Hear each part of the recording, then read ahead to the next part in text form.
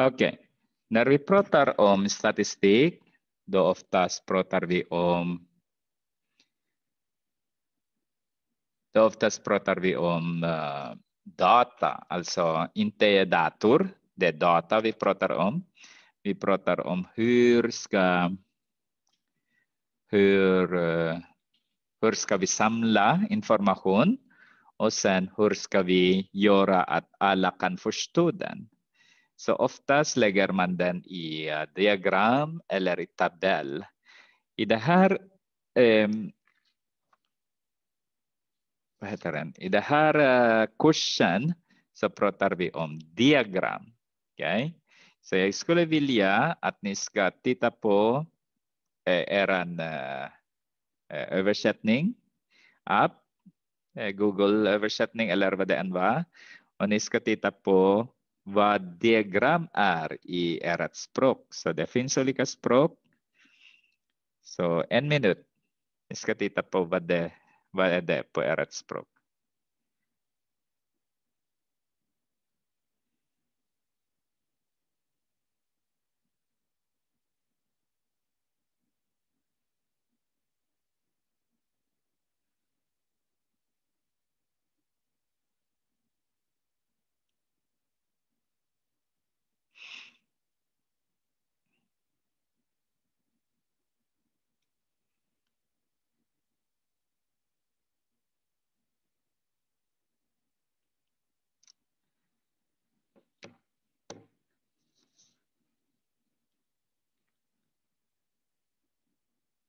Okej. Okay. Så vi börjar med de som pratar uh, vad heter det, tigrinska.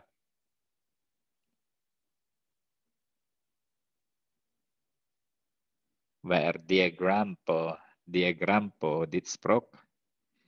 Pratar med ftawit eller dejen kanske, om dejen är här.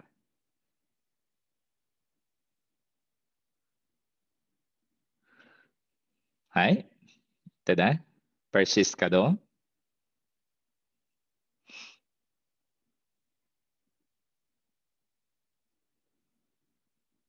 Ingen som pratar persiska här heller. Oj, oj, oj, oj, oj. Eh, arabiska.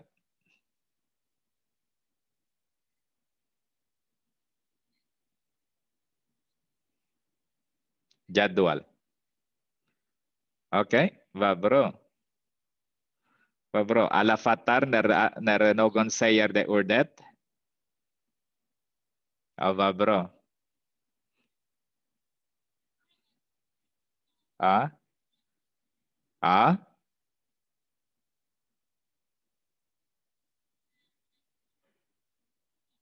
Okej. Okay. Då, då all, fattar du om du, du hör det ordet? Fattar du det då? Vad bra. Diagram. Okej, okay. en diagram är här. Eh, om den här diagram vi har eh, vad vi kallas för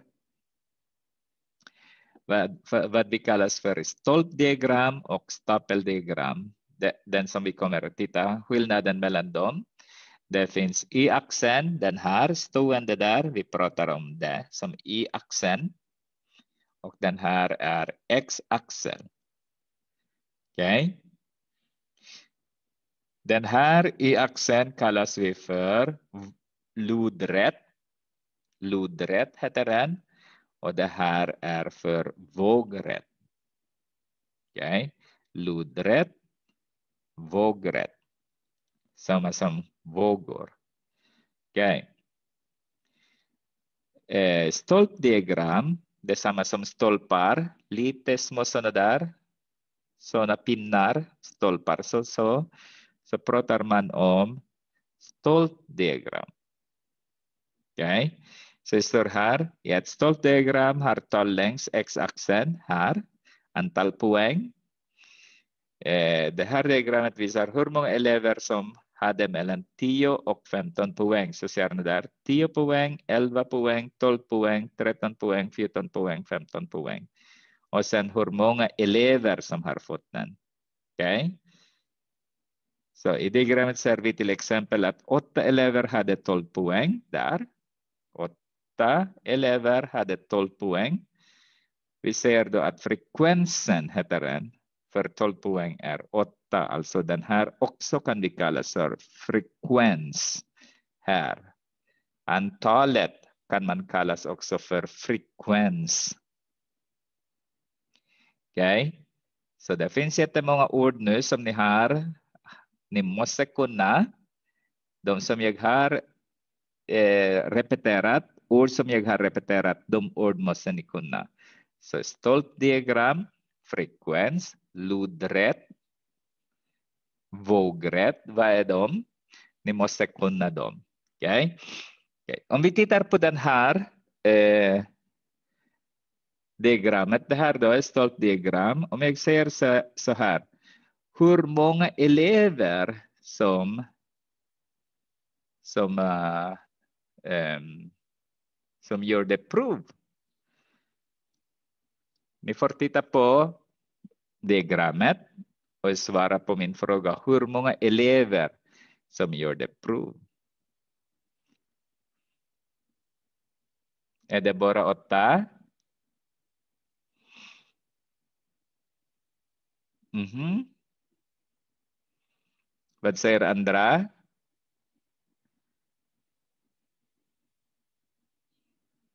Det är nio, säger andra. Vad säger andra? Va? Är de bara åtta? Okej. Okay. Ja. Vi ska titta. Ser ni att det är antal elever? Okej. Okay. Hur många elever som fick två poäng? Nej, tio poäng. Två. Hur många elever som fick elva poäng? Hur många elever som fick 12 poäng? 8. Så 13 poäng. 14 poäng. Och 15 poäng. Okej. Okay. Så, så hur många elever som gjorde prov? Man moserek na aladom. Sama moserek na 2 plus 5 plus 8 plus 6 plus 4 plus de är 20 stycken. Jättebra. Okej. Okay. Eh, hur många elever som fick det högsta poäng? Hur många elever som fick det högsta poäng? hur många elever som fick det högsta poäng. Tre stycken elever som fick det högsta poäng. Okej? Okay? Precis. Okej, okay, vilken poäng? Okej, okay, vilken poäng fick de flesta elever? Ja, Därför att det finns det här det högsta poäng. 15 är det högsta poäng. Och det är tre elever som fick det. Så min nästa fråga är vilken poäng fick av de flesta elever?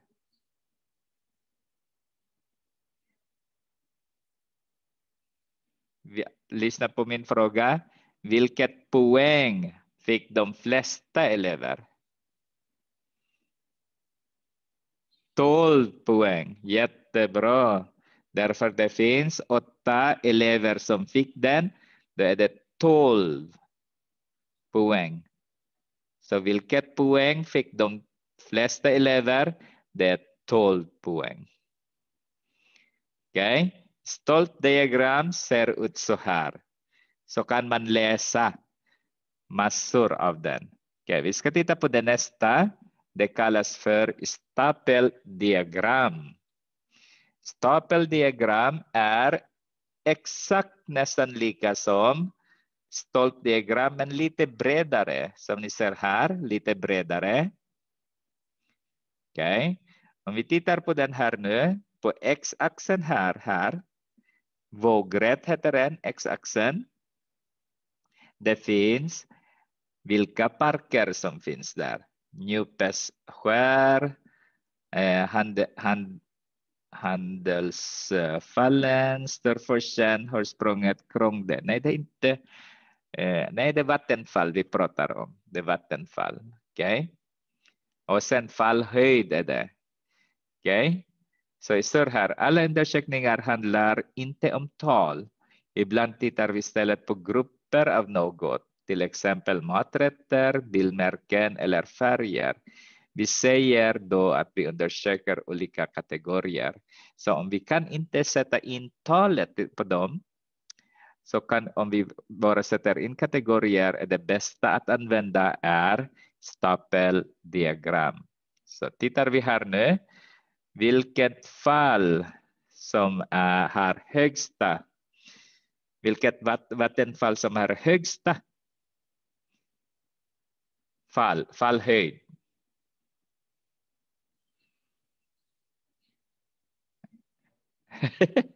Njupeskär heter den. Njupeskär heter den. Ni måste säga skär. Njupeskär heter det. Mm. Okay, hur många centimeter fallhöjd har den lägsta vattenfall? 100, hur många meter menar jag? Hur många meter? Den lägsta. Den lägsta. Den lägsta.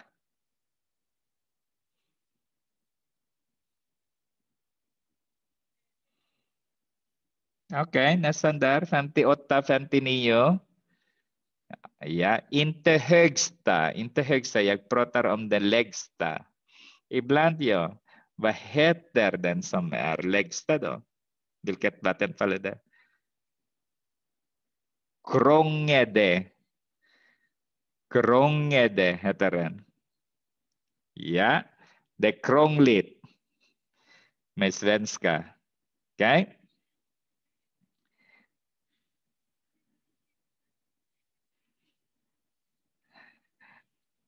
Okej. Okay. Den tredje Den tredje vi pratar om är linjediagram. När använder vi linjediagram? Vi använder linjediagram när vi pratar om utvecklingen. Hur ändrar till exempel den här? Ser ni att i y-axeln, alltså lodrätt, y-axeln i luddret ser vi temperatur och här i x-axeln vågrätt. Vi pratar om tiden. Alltså ser ni hur temperatur ändrar, samma som idag. I morse var kallt så blir det varmare och varmare så det blir kall, kallare och kallare igen. Fattar ni? Om vi jämför utvecklingen, då är det bästa att använda är linjediagram. Okej, står här. Ett linjediagram passar bra när du vill visa en förändring av något slag. Det här diagrammet visar hur temperaturen varierade en sommardag i Trosa.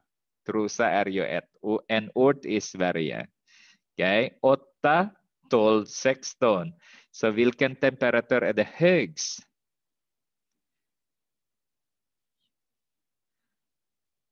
Tjugonio. Ja, 29 grader. Eh, vilken, vilken tid? Pris, ah, inte F16. Vilken tid är det?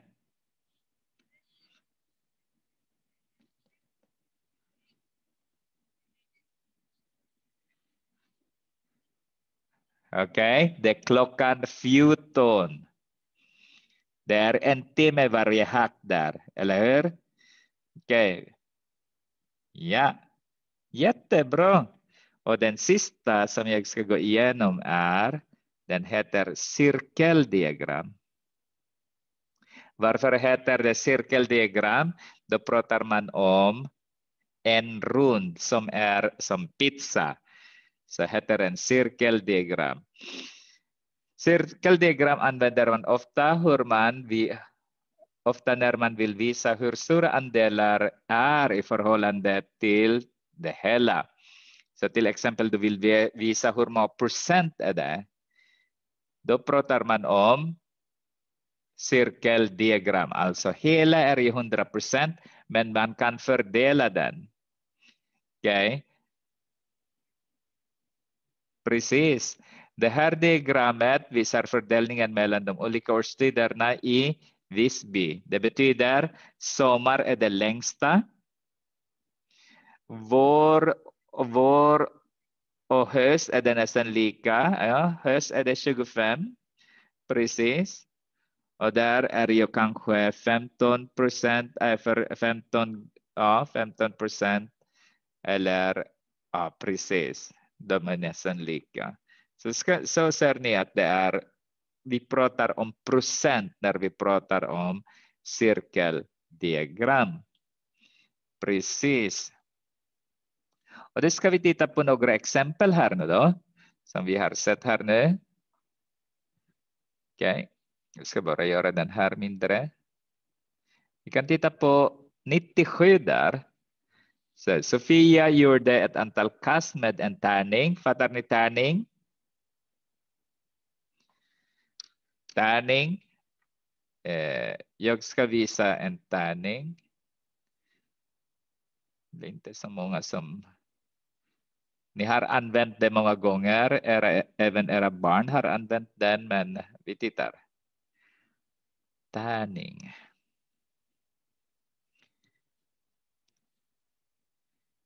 Den här är en tärning. Okej, okay? så det här är en tärning. Så fattar ni va? Vad bra. Ska vi svara på den här frågan då? Är det, är det här ett stolt diagram eller ett stapeldiagram?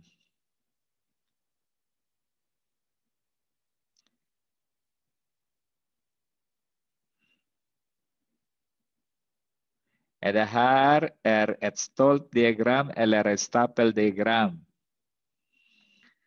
Det är stolt diagram, jättebra. Precis, det finns talet. Vi kan inte använda stolt diagram när det är bara kategori. Men om det är tal så vi kan använda stolt diagram. Okay. B. Vilken var frekvensen för två prickar? Det betyder hur många har två prickar? Fem stycken, vad bra. Vilket antal prickar förekom lika många många gånger som två prickar? Fyra, bra. Hur många gånger fick Sofia ett udda antal prickar?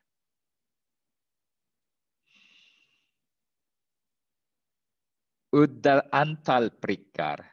Det betyder ett, tre och fem.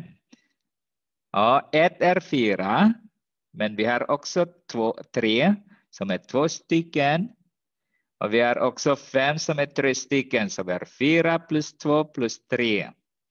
Det är nio gånger.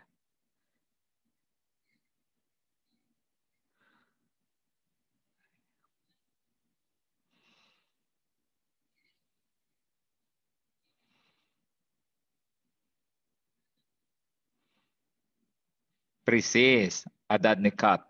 Ja. 1, 3 och 5.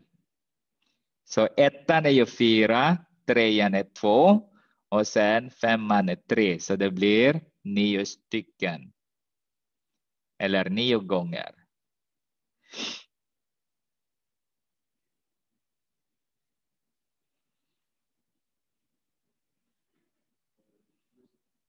Okej? Okay? E i i hur stor andel av kasten fick Sofia ett udda antal prickar? Svara i bråkform. Så nio av, hur många gånger han har gjort nu? Nej, det är inte, inte det.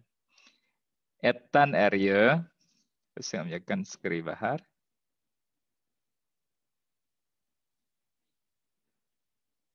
Ettan eh, är ju fyra gånger.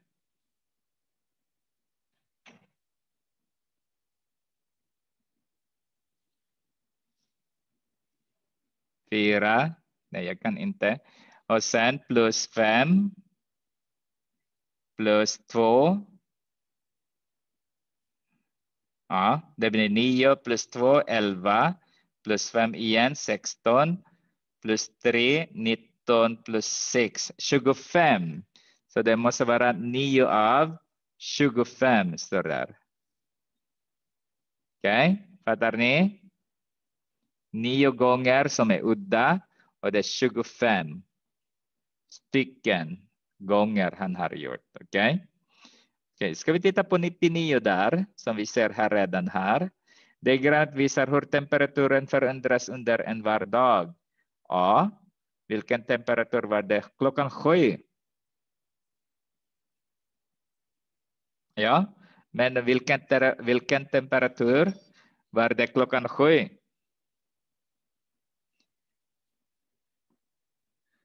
8 grader, jättebra. Eh, när var det varmast?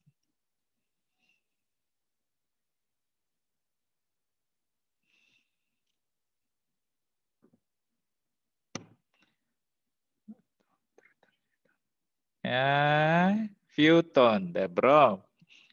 14 är det varmast. Hur varmt var det?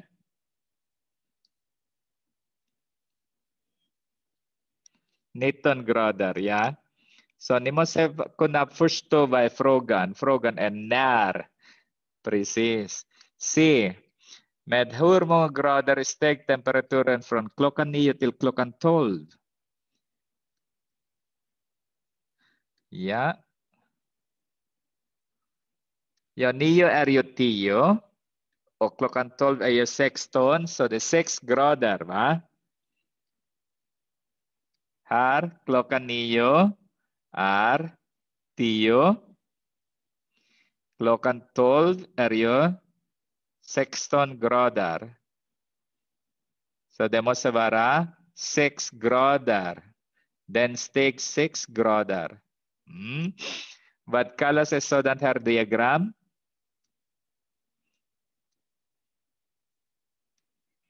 Linjediagram. Jättebra. Ska vi titta om vi kan hitta också någonting som är, har någonting att göra med eh?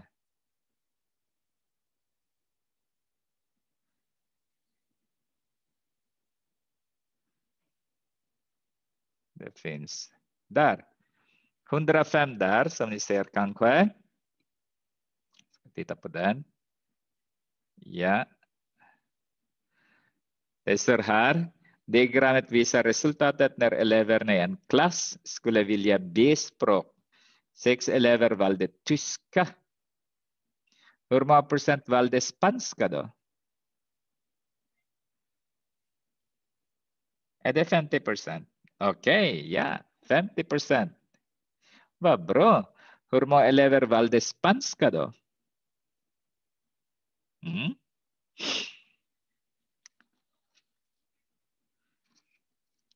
Ja, men det står här att det är sex som valde tyska. Så här är det sex elever här. Så varje hack här är det tre elever. Ser ni det? Ja, jag skulle ta den här också så att ni ser. Eh, ehm. Ja, för tyska, ja. Eh, för tyska är ju är det sex stycken så är det tre plus tre är det ju sex. Ser ni den här hacket här? Ja. I spanska så tre plus tre plus tre plus tre plus tre. Ett, två, tre, fyra. Nej, det måste vara femton va? Femton eller? Fem, ja, du glömde tre till. Okej. Okay. Vad kallas eh, ett sådant här diagram?